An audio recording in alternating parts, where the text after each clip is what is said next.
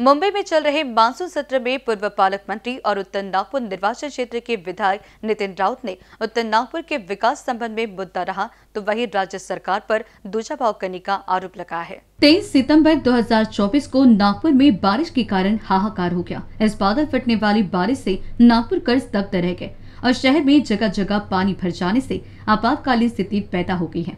बादल फटने से उत्तरी नागपुर संसदीय क्षेत्र को भी नुकसान हुआ है। लेकिन नागपुर महानगर पालिका और नागपुर सुधार प्रन्यास दूजा भाव करते हुए एक पार्टी के कार्यालय के रूप में कार्य कर रहे हैं। ऐसा आरोप पूर्व पालक मंत्री और उत्तर नागपुर निर्वाचन क्षेत्र के विधायक नितिन राउत ने लगाया है। जहाँ आगे बोलते हुए राउत ने कहा कि 23 सितंबर को नागपुर शहर में 111 मिलीमीटर की भारी वर्षा के कारण नागपुर शहर के विभिन्न स्थानों में बाढ़ के पानी के कारण नाले की सुरक्षा दीवार, मुख्य सड़क और कई सड़कें क्षतिग्रस्त हो गई।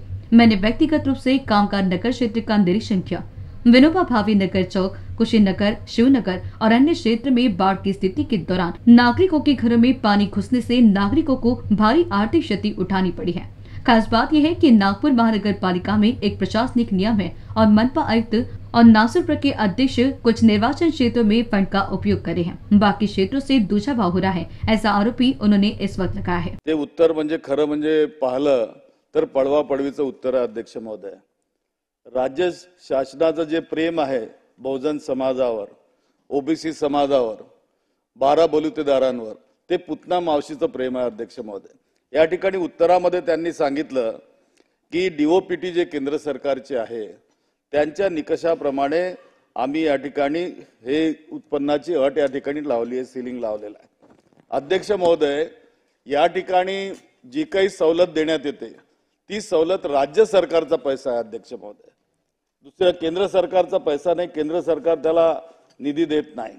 आणि डीओपीटीच्या नियमाच्या अंतर्गतच राज्य सरकारला काही अधिकार प्राप्त आहेत. त्या अधिकारामध्ये विशेष बाब म्हणून उत्पन्नाच्या अटीच्या संबंधी निर्णय घेता येऊ शकतो. या ठिकाणी राज्य सरकारमध्ये जर आपण पाहिलं तर आठवा सातवा वेतन आयोग लागू झाला. सातवा वेतन ला- आयोग आल्यानंतर जी चपराशी असतो क्लास फोर त्या क्लास फोरचं उत्पन्न सुद्धा आठ लाखाच्या वर आहे.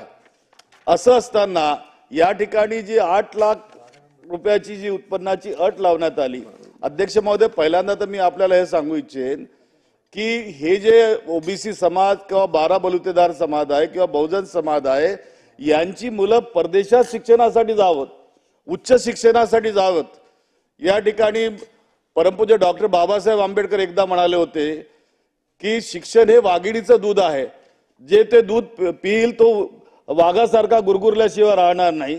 जर राज्य सरकारला इतकाच कळवळा या समाजाबद्दल आहे तर राज्य सरकारनं स्वतःच्या अखत्यारीमध्ये निर्णय करून पंधरा लाखाची मर्यादा त्या ठिकाणी करावी वाढवावी आठ लाखाची मर्यादा पंधरा लाखापर्यंत आणावी.